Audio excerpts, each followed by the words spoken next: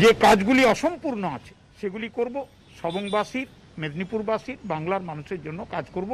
মমতা ব্যানার্জির নির্দেশে নেতৃত্বে এবং তার সেদিনকে মানুষদের ছ মাসের মধ্যে ছেড়ে বেরিয়ে আসতে হয়েছিল। এক বছর ছিলাম।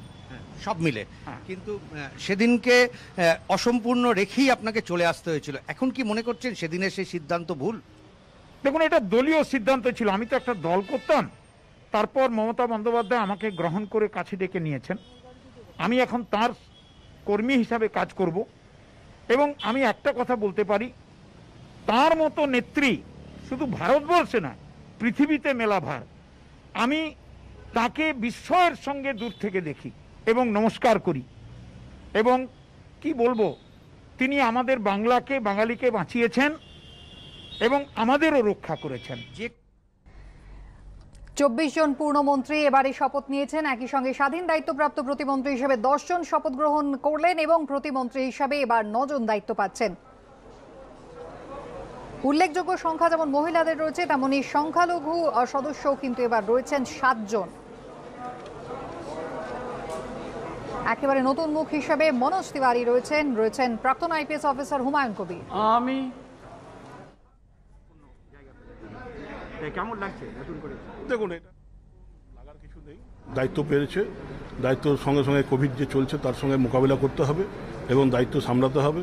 যে আস্থা মাননীয় মুখ্যমন্ত্রী রেখেছেন বা আমাদের জেলা সভাপতি অনুমত মণ্ডল যে সহযোগিতা করেছেন, তার সম্মান আমাকে রাখতে হবে। এই নিয়েই আমরা চিন্তা করছি, কীভাবে কাজ করব। দায়িত্ব পাওয়ার পর, মূলত সকলের মুখেই একটাই বক্তব্য যে, কোভিড পরিস্থিতি এই মুহূর্তে মোকাবিলা করা তাদের প্রাথমিক কর্তব্য এবং তারপর অবশ্যই রাজনীতি রয়েছে, সংগঠন রয়েছে, আসন্ন যে নির্বাচনগুলো রয়েছে, সেখানে লড়া রয়েছে। কিন্তু এই মুহূর্তে রাজ্যের যে কোভিড পরিস্থিতি, তাতে কোভিড পরিস্থিতি মোকাবিলা করাই তাদের প্রাথমিক উদ্দেশ্য। সাবিনা ইয়াসমিন কি বলেছেন, শোনাবো আপনাদের। ভালো লাগছে। এবং আমি খুবই ধন্যবাদ জানাচ্ছি আমাদের সুপ্রিমো দিদি মমতা ব্যানার্জিকে এবং মালদার মানুষকেও আমি খুব ধন্যবাদ জানাচ্ছি, যাদের দোয়া এবং আশীর্বাদে আজকে আমি এই জায়গায় এসেছি। এবং আমি এটা বোঝাতে পারব না, কারণ একটা দেখেন, আমার কাছে একটা বড় চ্যালেঞ্জ ছিল যে পার্টি চেঞ্জ করে নিজেকে প্রতিষ্ঠিত করা, দলকে প্রতিষ্ঠিত করা। তো আজকে দিদির আশীর্বাদে সেই জায়গায় আমরা এগিয়ে যাচ্ছি এবং আগামী দিনে আমার চ্যালেঞ্জ আছে যে মালদাকে কি করে এগিয়ে নিয়ে যাব। কিছুক্ষণ আগেই শপথ অনুষ্ঠান শেষ হয় এবং এই শপথ গ্রহণের পর রাজভবন থেকে ধীরে ধীরে সকলেই রওনা হচ্ছেন নবান্নের উদ্দেশ্যে এবং নবান্ন সভাঘরে সেখানের কিছুক্ষণের মধ্যেই ক্যাবিনেট বৈঠক করবেন মমতা বন্দ্যোপাধ্যায়, যেখানে দপ্তর বন্টনের কাজ শুরু হবে। একদিকে যেমনটা জানা যাচ্ছে যে, অমিত মিত্র তিনি শারীরিক কারণে এবারে নির্বাচনে না লড়লেও এবারও তাকে অর্থমন্ত্রী পদ দায়িত্ব দেওয়া হতে পারে।